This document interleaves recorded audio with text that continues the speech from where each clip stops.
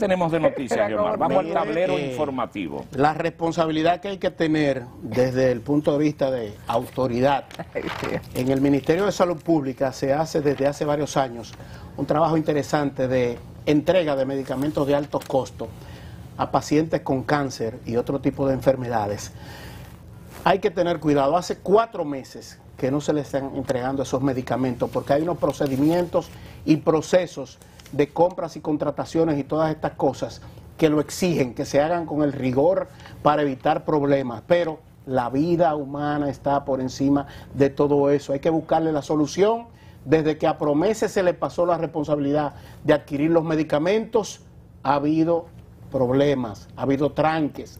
Búsquenle la solución a eso porque esos pacientes están desesperados, con cáncer, esperando que le entreguen los medicamentos. Hace cuatro meses que hay falta de los medicamentos. Bueno, el Ministerio Público, don Luis eh, y Geo, eh, cuestionaban, ¿no? entrevistaban ayer, interrogaban a los militares apresados en el día de ayer, en lo que la PETCA denomina Operación 5G.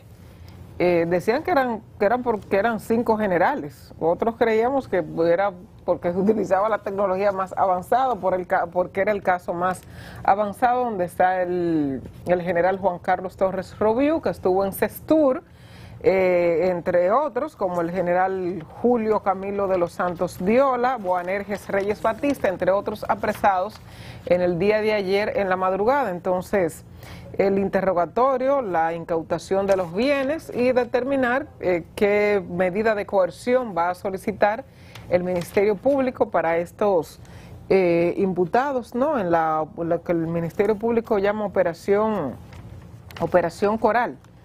Este, o sea que debe conocerse las medidas de coerción. Hoy es viernes, no creo que eso sea, no creo que sean en el día de hoy, son varias personas, pero debe determinarse qué medida de coerción solicitará el Ministerio Público, si va a continuar con la primera línea, que fue prisión preventiva como medida de coerción de 18 meses, como están los, el primer grupo ¿no? de imputados en este caso, o si variará la, la medida, el código eh, procesal penal indica unas ocho o nueve medidas de coerción, o sea que puede elegir unas de esas el Ministerio Público, aunque ha sido reiterativo con la prisión preventiva. Por eso son los casos de los militares apresados en el día de ayer. El Ministerio Público dice que movieron más de 4.500 millones de pesos en actos ilícitos. Vamos a ver el desarrollo de esa de este caso que ya está entonces para conocimiento de medida de coerción.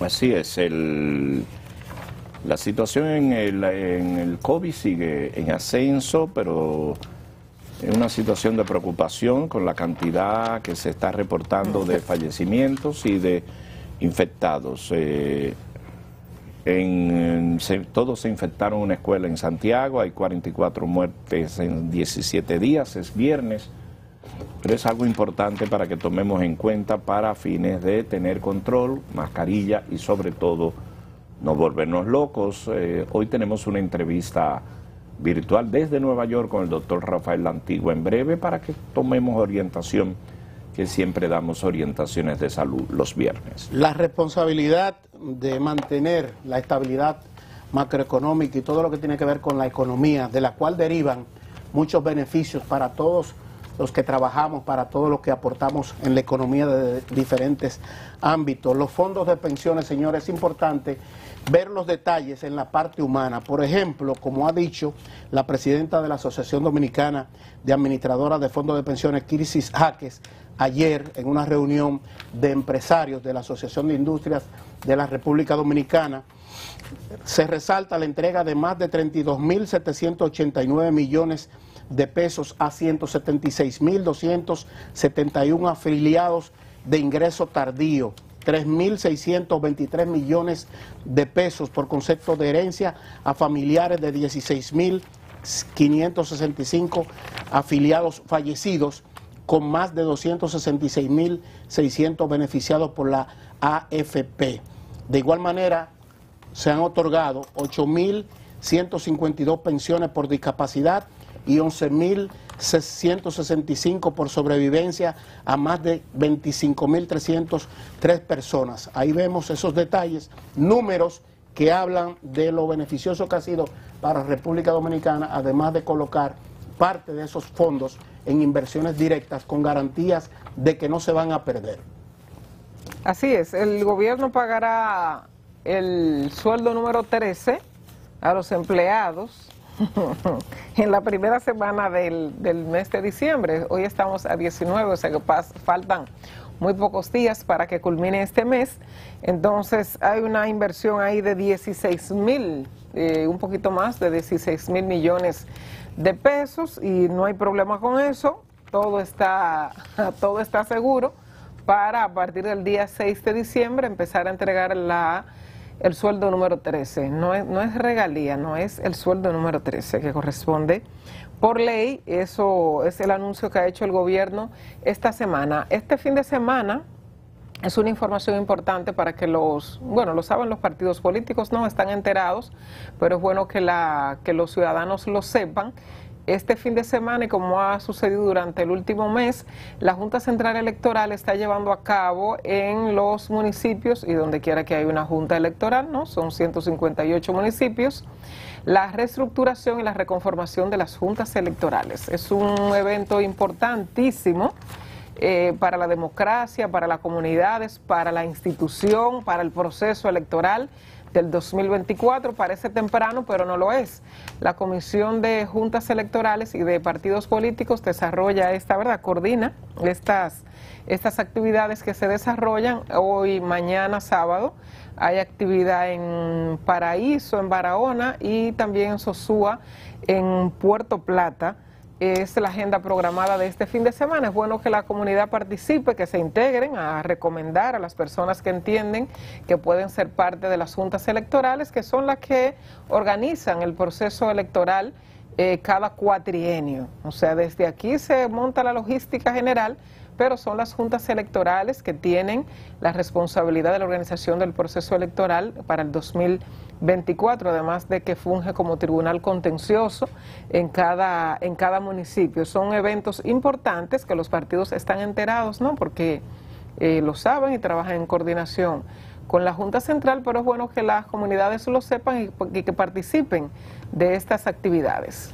Bueno, eh, entre una cosa y otra, esto es un tablero informativo. Ayer tres dominicanos quedaron segundo en votaciones en las elecciones de los principales premios del jugador más valioso del MVP de la República Dominicana. Son los tres jóvenes que vienen subiendo, dos juniors, Vladimir Guerrero Jr., Fernando Tati Jr.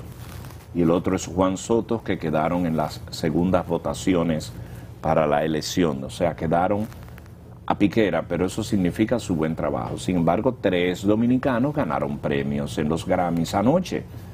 Juan Luis Guerra, la primera premiación de la tanda oficial, porque se hicieron premiaciones previas, fue para Juan Luis Guerra. Entre grandes, celebró anoche, ahí el momento la, eh, cuando se, se buscaba y se celebraba. Entonces el otro fue para el Sergio Vargas, y el reconocimiento a Mili Quesada. Tres grandes que fueron homenajeados, que fueron puestos en grande anoche en los Grammys Latino. En la más grande eh, feria internacional donde participan 192 países en Dubái, Medio Oriente, Emiratos Árabes Unidos, el director general de aduanas, Eduardo San Lobatons, cara a cara con importantes inversionistas, les contó como República Dominicana es un lugar maravilloso para hacer inversiones extranjeras.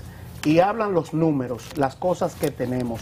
Somos uno de los principales destinos de inversión extranjera en el Caribe. Más del 40% de la inversión extranjera en el Caribe está en República Dominicana. Tenemos aeropuertos, puertos, la cercanía, toda la logística necesaria para desarrollar diferentes tipos de proyectos empresariales, industriales, como resaltó en Dubái, en esa feria Dubái 2020, el director general de aduana Eduardo San Lobatón, junto con varios funcionarios que le acompañan y que están haciendo esta importante labor de promoción de la República Dominicana como destino de inversión turística. Basta recordar que ayer, por ejemplo, una de las más importantes cadenas, Meliá, en República Dominicana, con el presidente Luis Abinader presente, anunciaba una inversión de 350 millones de dólares para nuevos proyectos y remozamiento de otros que ya tienen en República Dominicana y eso es verdaderamente importante y trascendental.